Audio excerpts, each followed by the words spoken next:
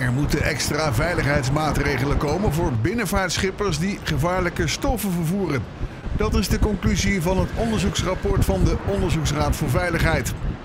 Rijkswaterstaat moet bij extreme weersomstandigheden kunnen besluiten om de scheepvaart plaatselijk plat te leggen. Andere maatregelen zouden het inkorten van vaartijden of het eerder aflossen van de schipper kunnen zijn.